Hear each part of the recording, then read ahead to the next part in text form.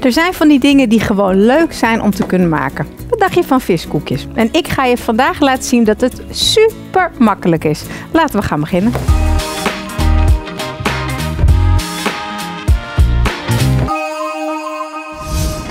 We eten Thaise viskoekjes met noedels. Een lekker bordje streetfood. En daar heb je voor nodig. Koolvisfilet, een ei, maïszetmeel, Thaise currypasta, volkorennoedels, Cambodjaanse wokgroenten en een handje pinda's. Vandaag gaan we viskoekjes maken. Die kun je op allerlei manieren maken. Die kun je helemaal op smaak brengen zoals jij het lekker vindt. Maar ik ga een basic simpel recept laten zien. Laten we beginnen met het opzetten van een pannetje water. Want we gaan ook noedels erbij koken. En dan kookt dat water maar vast.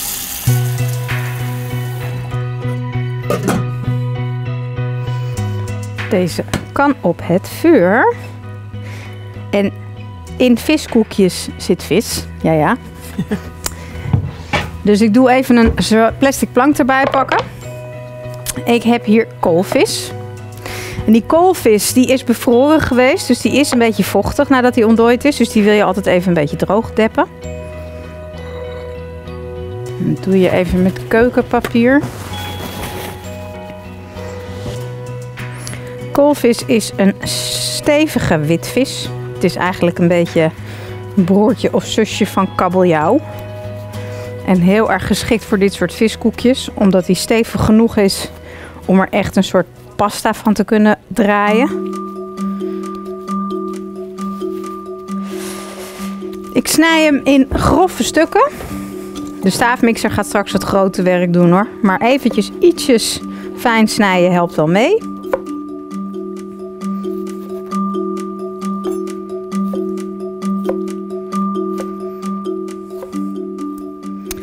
En dan schep ik dit in een hoge beker. Eentje waar de staafmixer in kan. Kan natuurlijk ook altijd in een maatbeker als je niet zo'n uh, plastic beker hebt. Zo.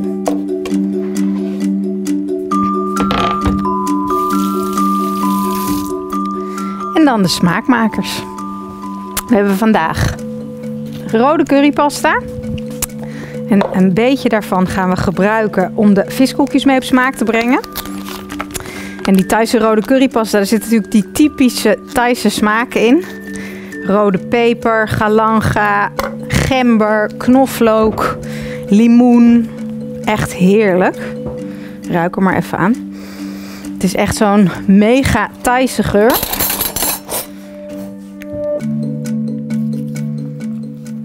Twee eetlepels daarvan gaat door de vis. En de rest gaan we straks gebruiken om de wokgroenten mee op smaak te brengen. Dus doe niet alles meteen in de viskoekjes. Zo. Dus leg ik deze even aan de kant. Dan heb ik een ei. En wat maïzena. Het ei kan er in zijn geheel in.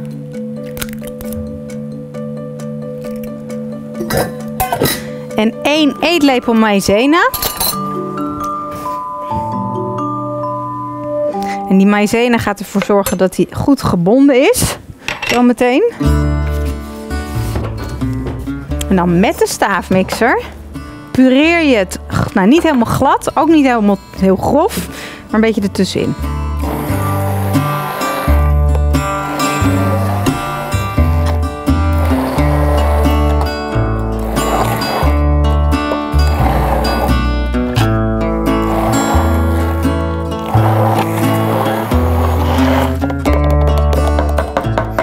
Moet je er natuurlijk wel zo meteen kleine burgertjes van kunnen draaien.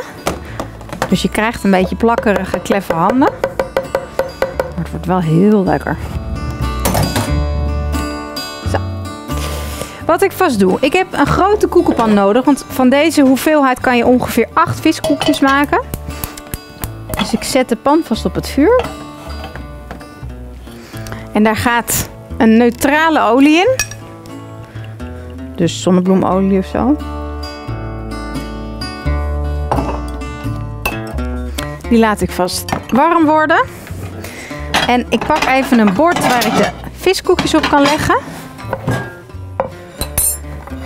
En dan gaan we dus nu eventjes onze handen vies maken. Die maïzena die heb je nog nodig. Want wat ik ga doen is een viskoekje maken. Door de maïzena halen en dan vervolgens in de hete olie leggen. En dan bak je ze rondom. Hier moet je er ongeveer 8 uit kunnen halen.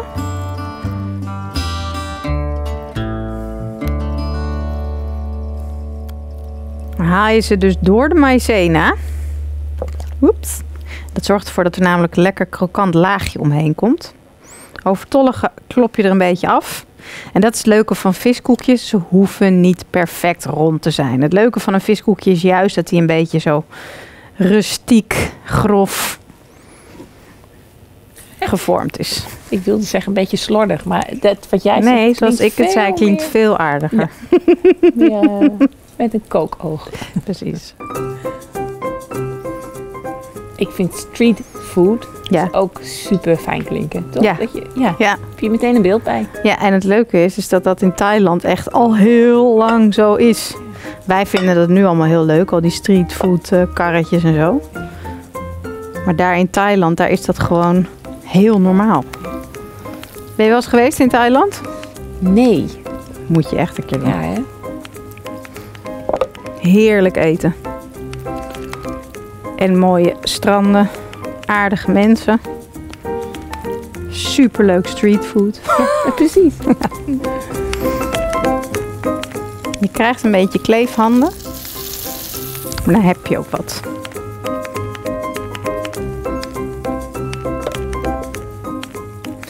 En dan kun je dit dus ook in de frituur doen.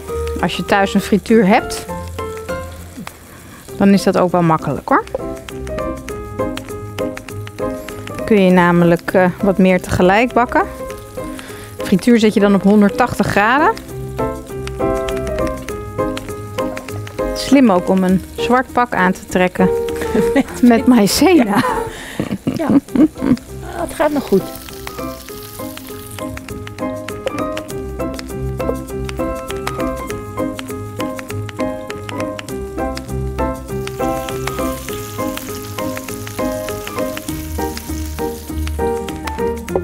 Is een beetje een kliederwerkje, maar het wordt wel heel lekker.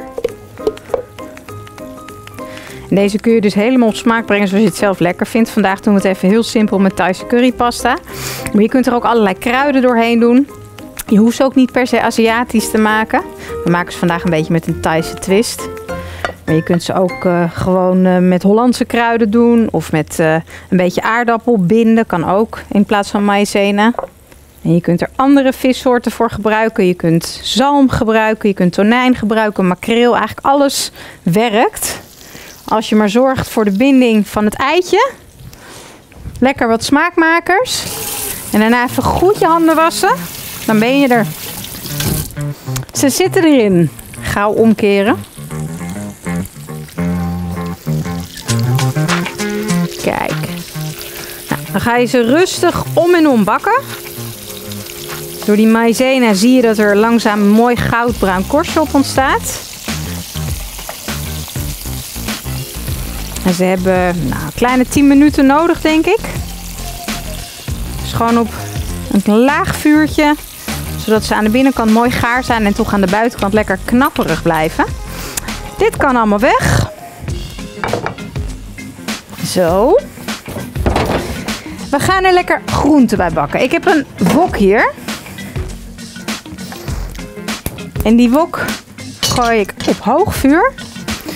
Ook weer wat olie erin.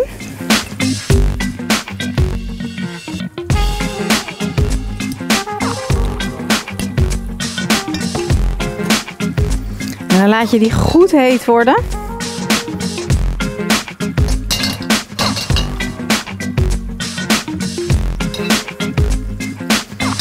Dan gaat de rest van de currypasta erin.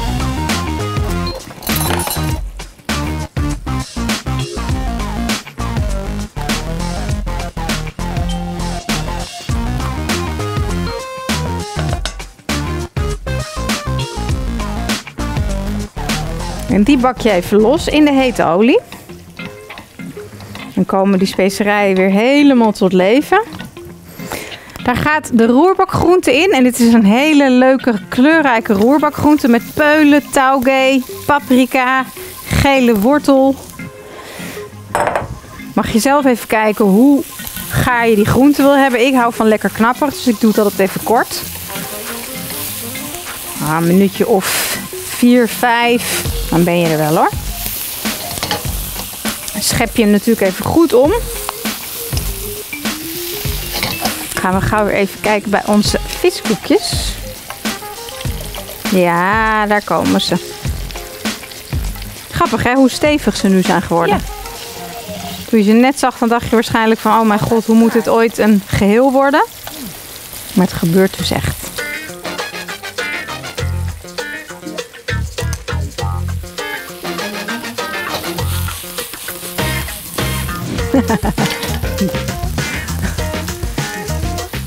Ik zal maar weer de spatel pakken. Nee, nee, nee. Gewoon blijven oefenen. Nee.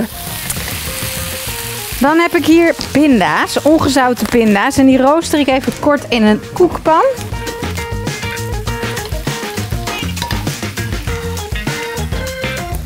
Het is altijd lekker om een beetje wat nootjes over de Aziatische gerechten te doen. Kan ook cashewnoten doen. Ik doe vandaag lekker ongezouten pinda's. En als je ze even roostert, dan krijgen ze net even wat meer smaak.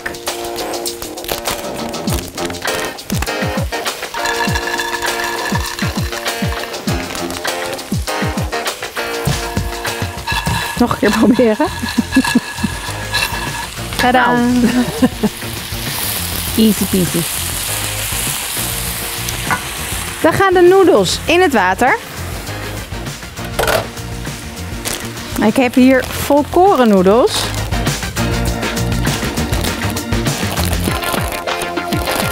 Die volkoren noedels die hebben altijd maar heel kort nodig. Echt drie minuutjes. Dus dat is zo gepiept. Gooi ze in het kokende water. Dan trek je ze eventjes met twee vorken uit elkaar. Zodat die nestjes loskomen.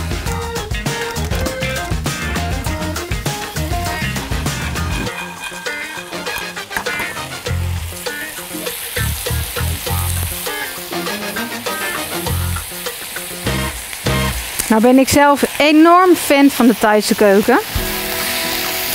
Wat ik zo lekker vind aan de Thaise keuken is namelijk dat er een perfecte balans is tussen zuur, zoet, zout en pittig. Het is heel anders dan de Indische keuken waar groenten bijvoorbeeld veel langer gekookt worden, eigenlijk meer gestoofd worden. De Thaise keuken is heel vers. Dus ik ga ook nu het vuur onder de wok uitzetten, want ik vind het lekker als hij goed knapperig is. Trek de noedels uit elkaar met twee vorken. En de pindaatjes. Die zijn mooi geroosterd, dus die leg ik even op de houten plank om af te koelen. En je ziet het ook, er zit zeg maar vet in die noot. En als je hem heel even laat afkoelen, trek dat vet weer in die noot. En dan ga je daarna pas hakken, want anders dan verlies je heel veel smaak en dat is jammer. En wat ook echt bij de Thaise keuken hoort, vind ik dan, is koriander.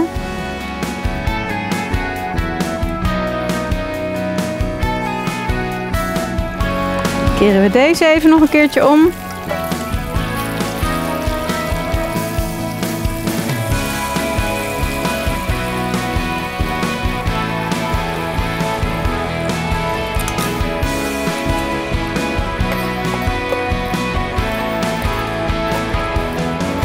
Noten hak ik even grof met het mes.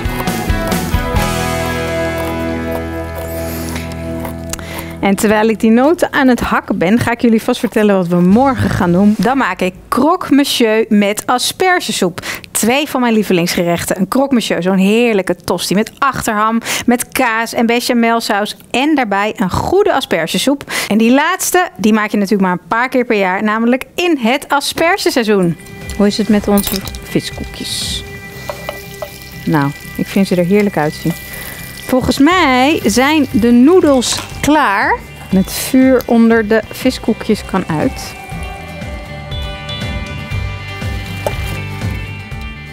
Ik warm ze nog heel even mee met de groenten.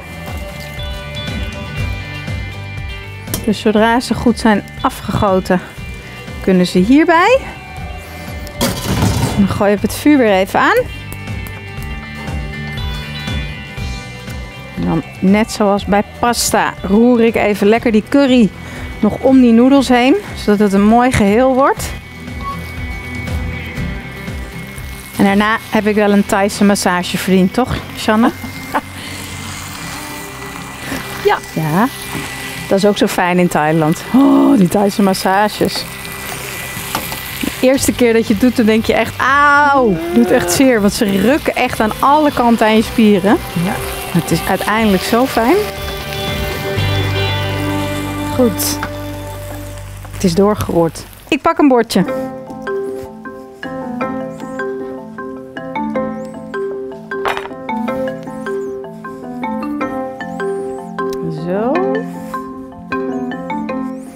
Nou heb ik hier in de voorraadkast van vorige week van de Fuyong Hai nog wat chilisaus staan. Dat is natuurlijk altijd lekker om erbij te serveren bij die viskoekjes.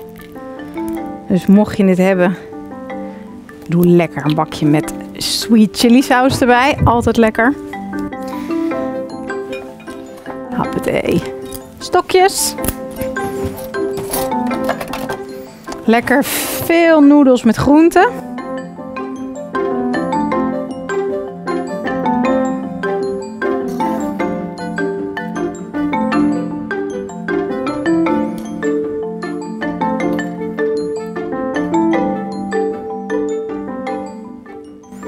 Zo. Dan hebben we natuurlijk de viskoekjes. Even de mooiste uitkiezen. Deze vind ik mooi.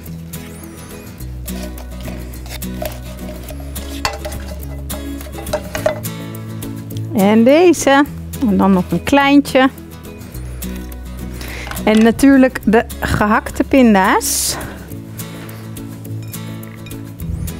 En voor wie ervan houdt, nog een paar steeltjes koriander.